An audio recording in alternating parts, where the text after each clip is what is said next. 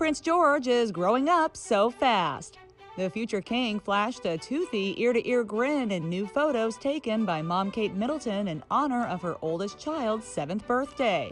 Though George doesn't celebrate until July 22nd, the palace got a head start on his milestone and dropped two new pics of the youngster one day early. George couldn't look happier wearing a forest green polo in one shot and a camouflage pattern tee in another while sporting the same side parted blonde locks and adorable smile in both.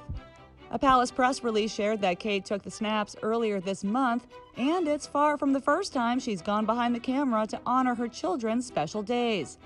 She's taken birthday portraits for all three kiddos over the years.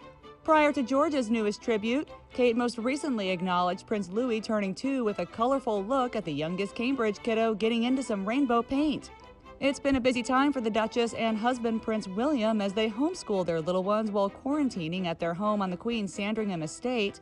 It's hard to believe it's been seven years since the couple introduced their firstborn to the world just hours after his 2013 arrival, stepping out of the Lindo wing of London St. Mary's Hospital to greet well wishers, a tradition Kate followed with their two other newborns. Daily Mail's Charlie Lankston told Access Hollywood recently why George's big debut was such a global event. The arrival of a royal baby under any circumstances is always going to be a huge moment. But the arrival of the firstborn child of the future king is obviously a moment that not only demands attention from royal fans, it really demands attention from the world stage. This is the birth of a future king, you know, or it could have been a queen that we are witnessing, and people really did go wild over it.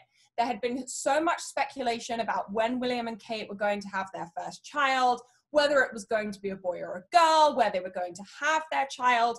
And Prince George really was kind of the first major royal birth that we had seen in a little bit of time. And I think the excitement around it just made the UK a wonderful place to be. Thank goodness he was born in the summer because it did mean that people could go outside and celebrate. If it had been in the winter, it probably would have been a bit drizzly but it really was a momentous occasion in British history, and people celebrated it with due respect. They kind of took to the streets, there were banners put up. It was a really wonderful time to be in London and further afield in the UK.